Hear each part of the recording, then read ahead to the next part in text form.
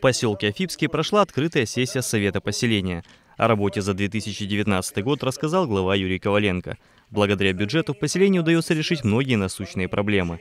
На 2019 год он составил 204 миллиона 218 тысяч рублей. Сумма собственных доходов 156 миллионов 327 тысяч рублей. В своем отчете глава уделил внимание обращениям и вопросам, заданным жителями на встречах в течение всего года.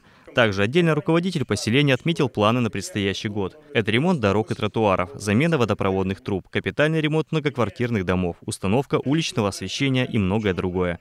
На сессии также выступил председатель Совета Афипского городского поселения Андрей Судин. Он рассказал о деятельности депутатов поселения. После отчетов жители смогли задать свои вопросы Юрию Коваленко и специалистам районной администрации.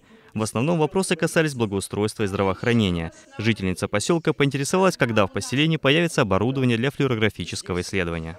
На прошлой неделе разговаривал с Минздравом, нам одобрили. И в этом году мы получим новый флюорограф в Северский район, который будет по графику, как и раньше, выезжать в каждый населенный пункт для проведения флюорографического исследования. В конце встречи слово взял глава района Адам Джарим. Он подвел итоги сессии.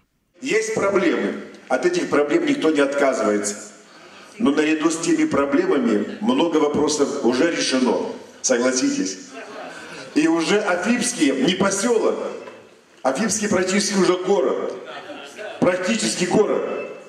24 тысячи населения уже в Афипске. Вот, поэтому можно сказать только администрации, главе поселения, депутатскому составу, тосовцам, квартальным, общественным организациям и тем, кто неравнодушен, неравнодушным жителям огромное спасибо за работу в прошлом году.